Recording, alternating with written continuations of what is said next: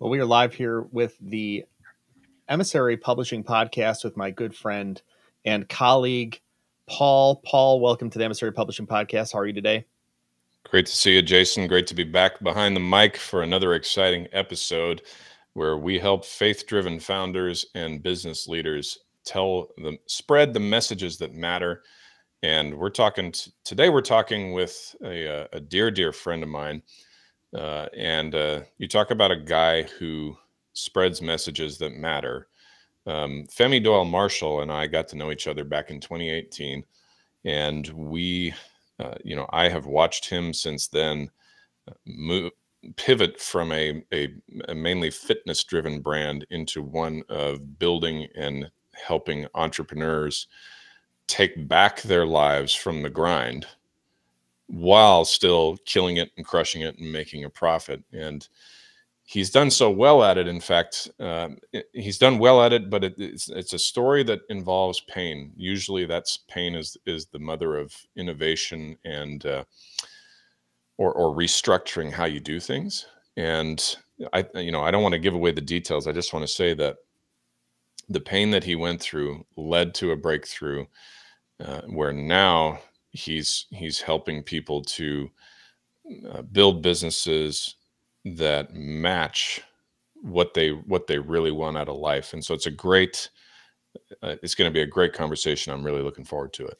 Me too especially as a faith-based entrepreneur uh, multiple times. I know the road of pain very well uh, and there's there is something about the clarification the process that it is painful and the great benefits that can come from that. I've experienced them firsthand. I'm super excited to talk to Femi today.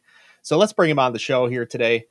Femi, welcome to the Emissary Publishing Podcast. So excited to chat with you today. Thank you for having me. Like, I'm actually super excited to be on this podcast. And um, like like Paul said, we we're like super close. So the fact that I get to share a little bit of my story and, and kind of can help inspire another visionary or many visionaries. I'm, I'm looking forward to it today. That's awesome. Great to be with you again, old friend, and and uh, so pleased at uh, to hear the latest and the greatest of you know where you've ended up and where your journey's taken you, and knowing uh, you know knowing being intimately acquainted with a lot of it going back reflecting you know just for for a moment on the. Difficulty and the hardship and the numerous stories that you brought you know brought to the table every time we broke bread um, makes you know makes makes what you're working on now all the more satisfying. And and that's really what i wanted to you know where we want to dig into today because you've got a you've got this book the purposeful work week and you can pick it up uh, at, at, uh, on amazon or web, uh, femi's website you know wherever wherever it's available and on the surface of it you know it just looks like um, planning right? Just you know organizing. But there's there's this this massive breakthrough story behind it. That's what i want people to hear. Mm-hmm. and before i get any further i'll stop trying to uh at the table and just let you let you let you tell like what where did this come from? thunder paul. He's like he's setting me up nice. No i that like there there's so much there.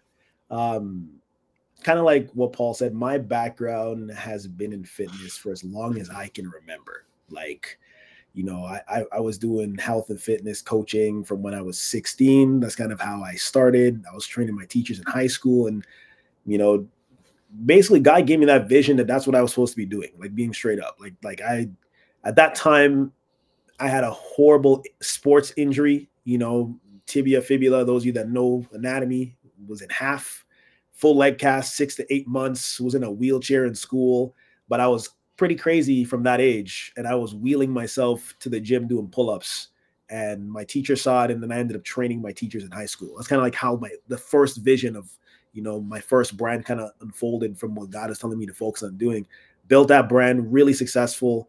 But then I, I kept having this like feeling that you know you're supposed to get out of the gym. Like you're not like you're supposed to be somewhere else and i was like no i'm making money doing this thing like what are you talking about like no one's gonna listen to me i'm not a business coach you know and i i kind of ignored that message and I ignored that voice. And that's actually how we connected, Paul, which is kind of crazy. So we kind of connected from me coming out of that. Um, and I was offering business coaching advice in the room around people, but I wasn't known as a business coach at that time.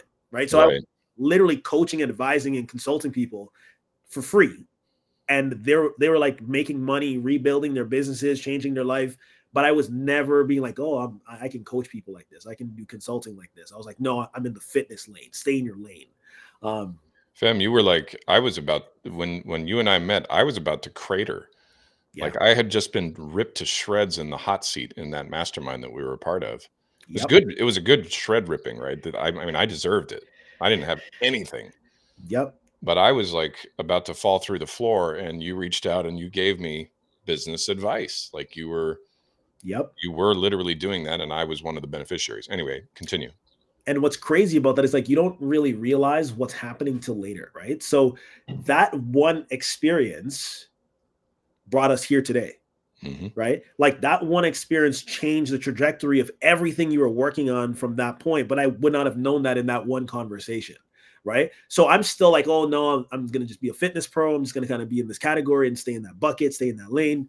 Um, but then I always find God is funny, right? Because you'll say something and then God will be like, mm, look over here. So uh kept back in the grind, kept building the business. This is actually just prior to the pandemic now, right? So I'm like, okay, you know, let's keep going, let's keep grinding, let's grow this facility, let's get another facility. And I was literally about to sign a lease for another location. Um, and the pandemic hit. Mm, I remember that. The pandemic hit. And what was so crazy about that experience is I was rushing these people to give me the terms of the lease. I'm like, I need you to give me the terms of the lease so I can sign this thing. Give me the terms of the lease so I can sign this thing. They sent me the contract. I'm like, where are the terms of the lease? I'm not signing this thing. And they sent me the terms of the lease literally two hours after I found out all fitness facilities were shutting down. Mm. And I was like, that's why I didn't sign the lease okay. So where I was leasing at the time, it was going to expire in about a month. Um, so I only had one month left to pay. And I was like, okay, what are we going to do from here? Um, and I'm jumping, like I'm jumping forward. Before this all happened, I was already being told, Femi, you know, you're supposed to stop doing health and fitness coaching. Like I ended up working so hard within that business that my blood pressure one day was 220 over something. Um, had signs of a stroke, couldn't walk, couldn't talk, couldn't move. And I actually had a client rush me to urgent care hospital, and that's what was going on. Mm. That was like a year before all of this happened, mind you. And, and like the message was, you need to stop working like this. I stopped working for four weeks. I couldn't work for four weeks, and my business grew. So now this is a year before. Okay. So I'm getting this message like, you need to change how you work. And I'm like, no, but I'm making money. But it's like, you need to change how you work. You're like, but I'm making money. And I was like, I don't know what to do. Then I wrote my first book, which is called Reboot, which is where Reboot X Academy came from. Um, I wrote that book in 2018. So the same year we met, Paul. Yep. right. Remember. Um, wrote that, spoke it out in two days. God basically told me what to say. Um, and launched it in 2019 and sold out all of those books the second I released it. But now, once again, I was like, I'm a fitness pro. I'm not supposed to be talking about business and development and stuff. Like, so put that book on the shelf. Let's focus on training people. Year passed, pandemic hit, all that stuff happens. Okay. Now, what do I do? I'm like, okay, so I can't run my fitness business and I'm still trying to hustle. I'm like, I'm gonna go online, I'm gonna do lives, I'm gonna do live Zoom workouts. I personally don't like doing that. That's not how I coached people at the time. Um, and my wife pulled me aside and she's like, Femi, what are you doing? I was like, what do you mean? I'm, I'm, I'm, trying to get this money. Like, you know, people still want it. She's like, Femi, like, stop. Like, act like you, I've seen how hard you've worked. And now it's a month past since the pandemic. She's like, I've seen how, how hard you've been working for the past month. You need to stop like actually stop and pray. Mm. And I was like, I wasn't praying. Like I actually wasn't praying because I was so angry and so focused on trying to do. She's like, you need to stop and pray. And I'm like, all right. I stopped and I remember I shut everything down for a week. And this is, I think, the time when we started talking again, Paul. I was praying every single day. I was like, you know what? I don't want to work eight hours every day. No. And I'm like, how many hours do I really want to work? I'm like, I want to work like four hours, you know, four hours per day. I'm like, okay, I want to work four hours per day. How do I change how I'm working? And I'm like, if I'm working four hours per day, but there's an eight hours per day is what most people work, maybe I should be praying more than I'm working. And I was like, okay, let's try this theory. So then I was like, let me not work four hours and pray four hours. Let me work four hours and pray five hours. And I was mm-hmm. just literally playing worship music and praying and just, you know, thinking of what, like, okay, where do you want me to go? This wasn't even a weekend. Literally, like the second or third day, I got a vision, which was to call one of our other good friends, Lewis, Lewis Diaz. Mm-hmm. And I called Lewis, and Lewis is like, hey, man, what's going on? He's literally Lewis. hey, man, what's going on? Amazing, man, for podcasting too. And I told him kind of what what the message was. I was like, I'm not supposed to be working this way. And he's like, maybe you should like launch your stuff, like launch and go online and start like doing coaching, consulting. And that was it. So from that moment, invest in whatever programs I could at the time to learn how to start building online coaching businesses because I was always in person, physical, always in person, physical. I was like, I didn't, you can really do this fully and not travel. And that was it. Like literally built Reboot X coaching, which is what it was at the time. Reboot X coaching, which came from my book Reboot, which I wrote in 2018. God told me the six steps in Reboot is supposed to be Reboot X coaching. Then Reboot X coaching evolved into Reboot X Academy. Then it grew into Reboot X Academy Entrepreneur Incubator. And then now we literally do like time management, business growth consulting. We work with organizations and entrepreneurs from like restructuring their entire schedule and life um, into a purposeful way. Like, how can you make profit? How can you actually have time to experience the wealth you're creating in your business and not be tied to this thing? Like, yeah. literally, that was a conversation I have earlier today with another business owner who wants us to come in and work with clients for her.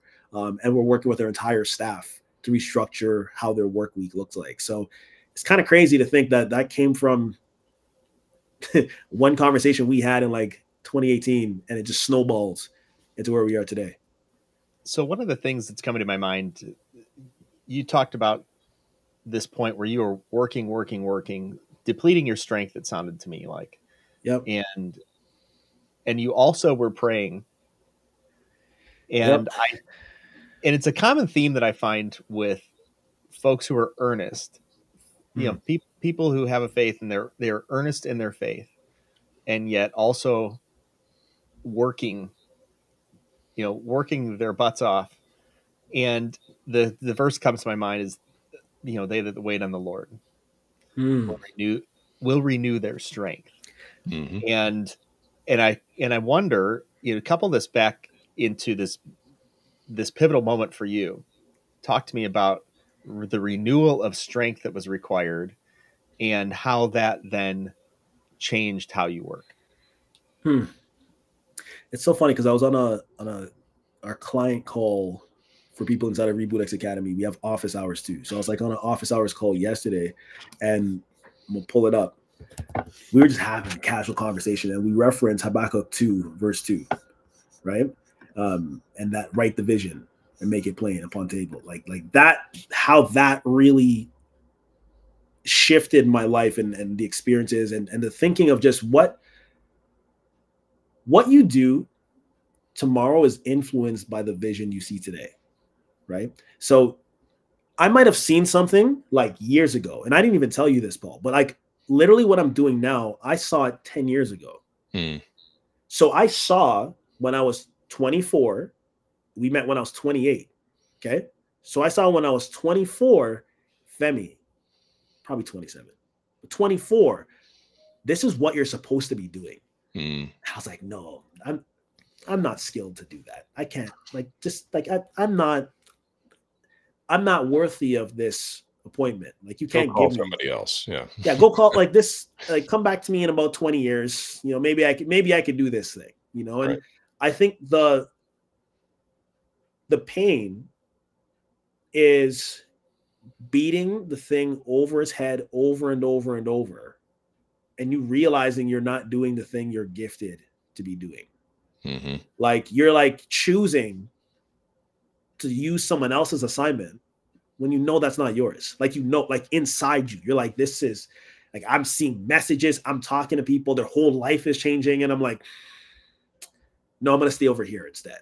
You know, and, and then after a while, what I find for me, my experience, my journey, what I've gone through is when I don't listen, the pain gets greater. That's for me. I don't Mhm. know if it's for everybody. I haven't really had, you know, these conversations, but I feel like the more I do not listen, the more challenging aspects of my life and business become. And what's crazy is this literally happened today. I got a message from someone like, "Hey, can you come in and do a workshop for about 20 participants?" I didn't even mention to this person that that's what we do. And I got an email just before this call where they're like, "We got to pay you literally right now because the budget is ending, and then you could do all the workshops next year." And I'm like, "Huh?" Yeah. like what?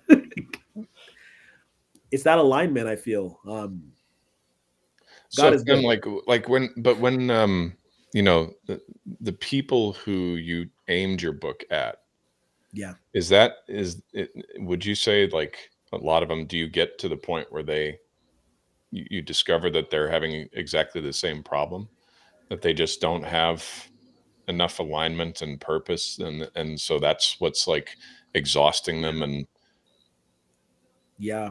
I there there was one of our clients who signed up in like February of this year.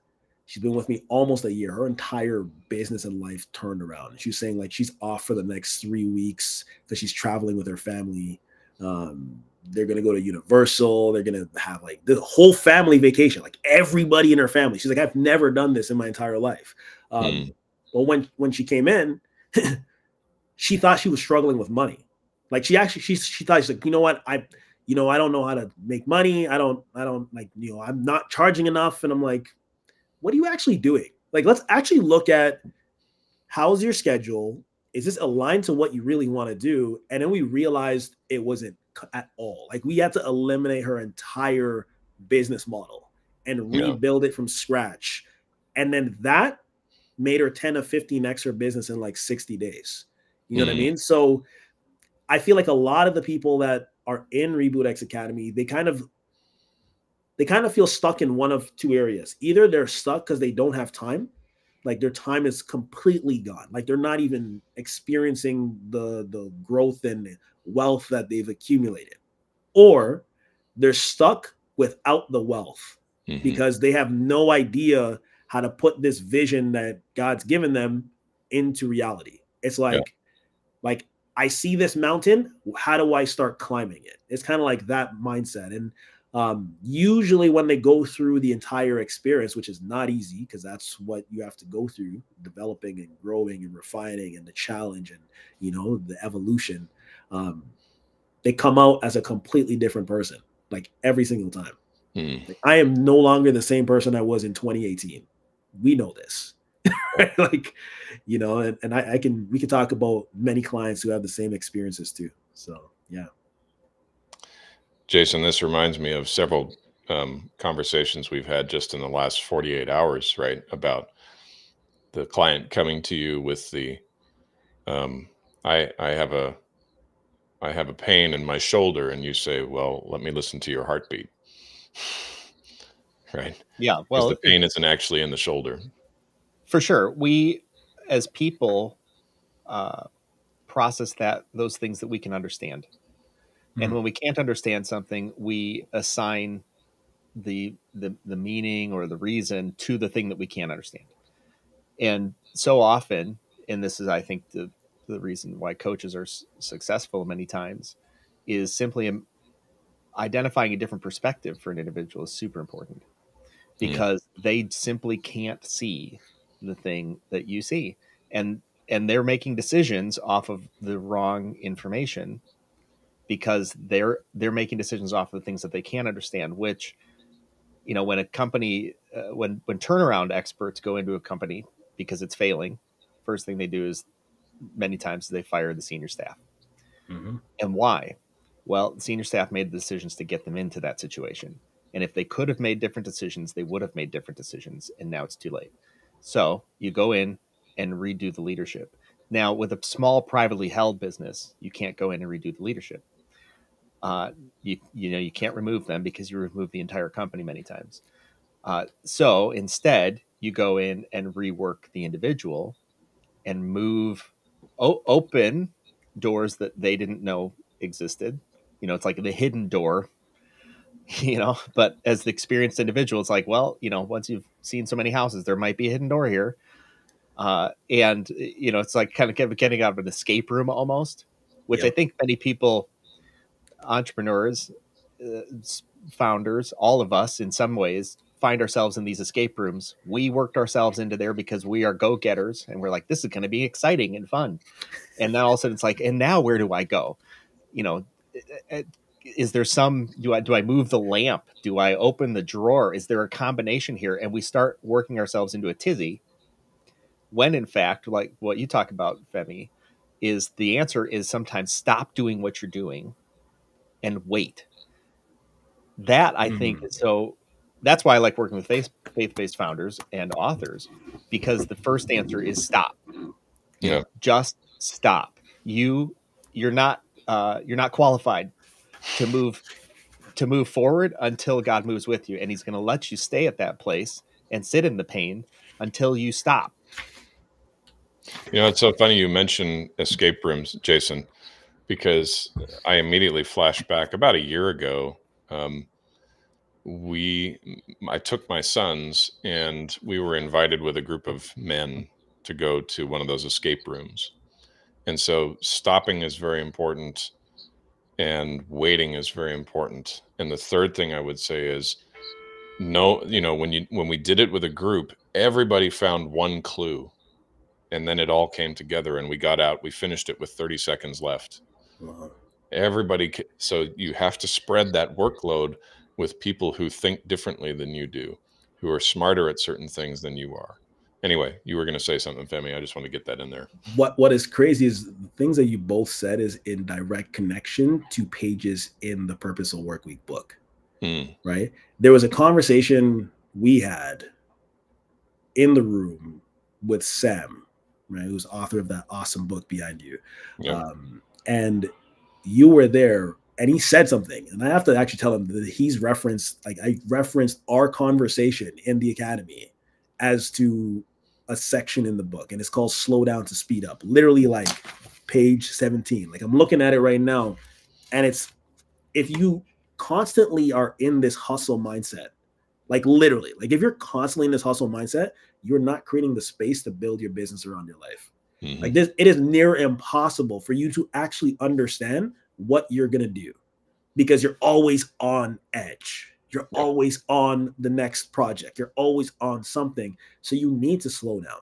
And he said something that I want to tie into kind of pulling the pieces together, Paul, where there's a belief that I think a lot of entrepreneurs have where they're like, I can figure it out. Mm-hmm. And that's the stupidest thing. I gotta say it like this just to be like blunt. Like, if you could figure it out on your own, you'd be where you want to be already. Right. Yeah. Literally, like you would have you would have magically put the pieces together and you would solve every problem you have in your life and your business. That's not the case. You actually need counsel, you need mentorship, you need support, you need faith because sometimes you don't even have the answers. Yeah. And you need to believe that the answer is going to come from somewhere as to who you need to talk to, which has happened so many times in my life in my business where I'm like, I don't know what to do right now. Help me. God help like just just tell me who to talk to. Talk to this person. You talk to that person, you don't really think they'll have the answer and then they tell you everything you were looking for for the last year in that one conversation. So, yeah, like I swear being an entrepreneur is like being in a constant escape room. You know, yeah. you know, where sometimes you walk yourself into that escape room and you're like building the walls around you and you're like, this looks like a good spot. I, saw, a great interview uh, yesterday uh, with, uh, uh, I guess I call him a friend of mine, J- uh, Jerry Colonna, who's a business coach to founders and entrepreneurs, and um, and uh, he was being interviewed over over a over a certain topic. I won't get into it. I didn't want to. I was like, oh no, I'm going to go down a rabbit hole. Uh, but the the the interviewee came out and said the many times entrepreneurs are successful because they've got a bit of a chip on their shoulder. They have something to prove. It could be from their childhood, uh, from you know some growing up that they you know they were the unheard person. They were the person who had to prove themselves. They would come from broken homes all sorts of things. There's some sort of energy that comes into play with many successful entrepreneurs where they feel that they have got to go make this thing work. Hmm. that is both their success and their downfall. And that's where this idea of i'm going to i'm going to push as hard and as fast as i can and you know damn the consequences that's a that's a you need that sort of fortitude to be successful in some cases and yet sometimes that pushes you into the exact place that you should not be Yeah. it pushes you to be on your own it pushes you to uh, to to separate yourself so far from the pack Yeah. that you you now are going to get picked off by the lion you know because you're you're you're supposed to be with your other group of zebras uh, and and now you're off on your own Right, and that's a problem. So the I I, I think that that that speaks to and and can be balanced with um with this idea of faith and waiting and sometimes uh doing nothing is doing something Mm. you know sun Tzu's the art of war Yep. which is a it's a timeless principle that sometimes doing less uh, gives us more Yep. I want to actually say that example of the pain or the turmoil or the challenges of what you started with can fuel your growth. I kind of I remember I was on a consulting call with, with one of our clients and I said, you got to observe what flame you're using. The energy, the fuel source of the flame, it looks different. And at one point, you got to decide if you're going to change that fuel. Like at some point in time, as you're building this thing, you're going to be like, I'm, I'm going to hustle, I'm going to grind, I'm going to build this thing, I'm going to build. But then at what point are you going to be like, no, I want to, I want to serve people. Like, no, mm. I- I, I want to, I want to change this culture. I want to help people find freedom. I want like, like at what point are you, are you going to stay that way the whole time? Or are you going to switch to something that is more progressive and healing? And, you know, like, because the flames might look the same, but what it's doing to you on the inside is something completely different. Yeah. Right. and that's that's something that I think is so uh, profound. Something I think entrepreneurs, particularly faith-based entrepreneurs, should pay attention to. The activity that I'm doing now, pay attention to the feeling and the out the outworking of that, the fruits, let's say, Yeah. Which leads me to this idea of fruits of the spirit. So if it's love, joy, peace, patience, kindness, goodness, faithfulness, gentleness, and self-control, how I'm working today is that creating in me these fruits. If it's not creating in me those fruits, then this is not this I am working in my own strength, which no wonder I'm burnt out. No wonder I'm unhappy. No wonder people are unhappy around me. Yeah. Uh, because this is not who I should this is who not who I'm created to be. Mm. Yeah. I'm having so much fun right now. Like there, like, like there, there is a point of what you're saying too, Jason. That I remember I was on a drive. I was driving my wife, uh, 30 minutes out somewhere, and I was looking at the energy I was using. You know, the mindset, how fast I was talking. The you know, and, and and I had to really pause and check my own self and be like, what energy is this? And I had to change that entire tone, that pace.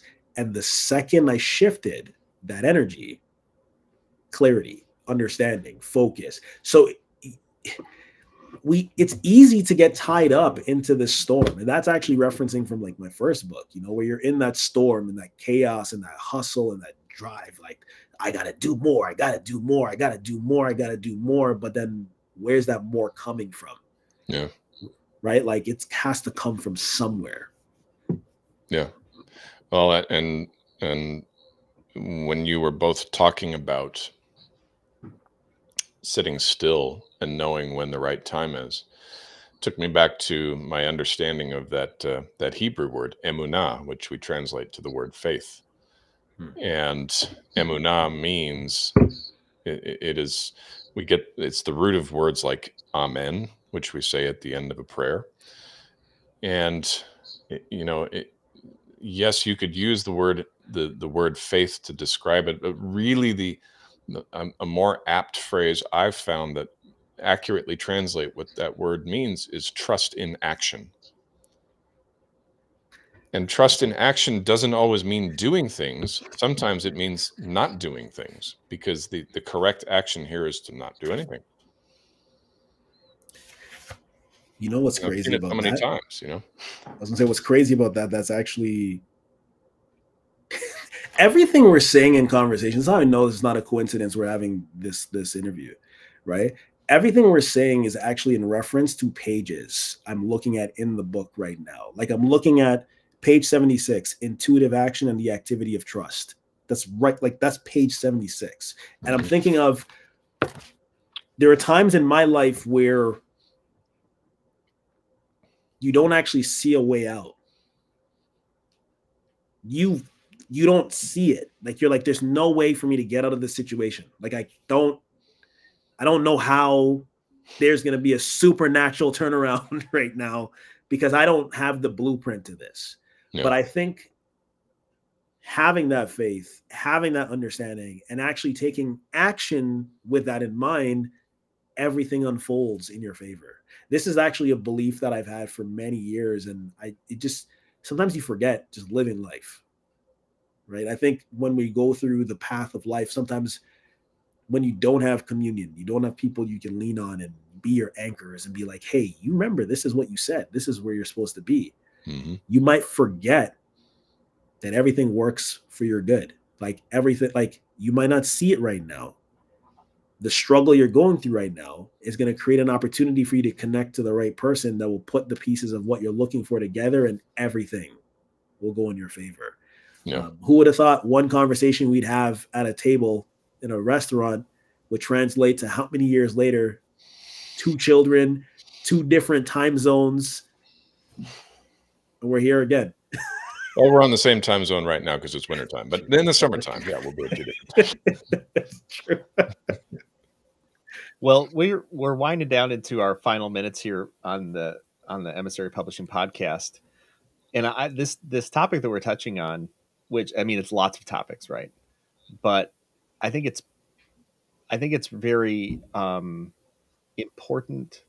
Perhaps one of the most important questions an entrepreneur can ask, or would be entrepreneur, the the time the the hours of your life, the energy you're expending today, moving whatever ball forward, for whatever reason, um, it's not it's not as though if we if we can find some magical key, some magical lock, it all opens up. The road is clear ahead of us. We press on the gas. You know, it's Montana before they had speed limits. You just go. That's not true. No. Sometimes it's difficult. Uh, I'm I'm wondering if we can, as we as we wind this down, give give us Femi some some insight into how you figure out when it's when it's the I need to work through this and press on that door harder, or I need to wait and uh, and mm. and see what unfolds ahead of me. How do you I'm split that difference? I'm gonna actually reference something I a message I received from one of my pastors years ago. Uh, we were in like a small group conversation and someone asked this question. They said, How do you know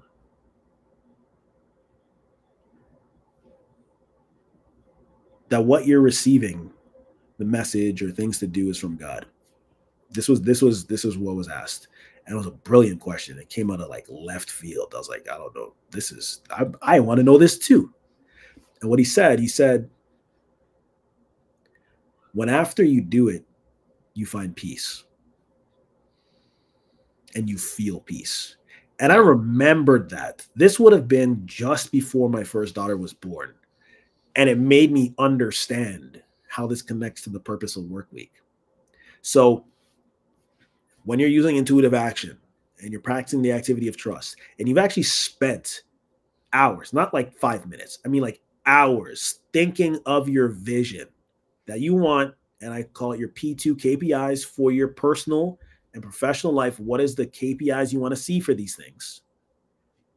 And you've spent time clarifying, refining. Is this really what I want? Is it? And you know it. You'll be able to go on autopilot without your working after a certain point in time. So I'll be building certain aspects of my business, like today. Today I have literally nothing on my schedule, but then it filled up. Filled up. Got a podcast episode. I got to go call this person who's going to give us some more money for next year. Like this came out of I, I woke up, took my children to daycare. That's basically what my schedule looked like. When you start really taking time to know what is that end goal I'm shooting for, you'll begin to start looking at the work that you're doing and listening to what your body and your spirit is saying. Hmm. Sometimes you actually do need to stop. Because if you don't, you can end up with a stroke.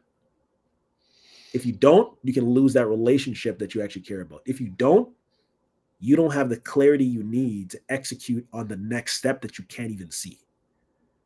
I took this entire week, and I'm talking, I'm gonna go in right now. I took this entire week to stop for some reason ads are not converting the way that they were last month. I'm like, this is kind of odd. You know, bookings are not happening the way that they're supposed to. This is kind of odd. What, like, what? I want to work. I want to work. But then I just stopped. Listen, Got visions for everything I need to do for the next year. I'm like, okay, that's why you're telling me to slow down. Next step, everything falls into place. Opportunities are opening up. So listen to what you are supposed to be doing and don't be afraid to slow down because it allows you to speed up as well too yeah and and slowing down has an expiration awesome. date too just like speeding up does. Eventually if you slow down long enough the spirit will begin to tell you um time to, time to work. Time to go. know? it's not forever. None of these things are forever. It's there's a season for everything yeah. right? Wax so if you plants. if if you're aware of what season you're in, if you're being present, you'll be able to create that space you need to build the business the way you want to, and then you'll actually generate more revenue and you'll actually see the success you want to see in less time. Amen. Let it be so. Amen. It's good words. Well, well, Paul, you want to close this out? Let's do it. The, the guest is my dear friend, Femi Doyle Marshall. RebootX.com is his website. His book is The Purposeful Work Week. Pick it up, read it, learn it, love it, live it. And we will look forward to seeing you next time on the Emissary podcast, where we help faith driven founders and executives tell the stories that matter. Bye for now.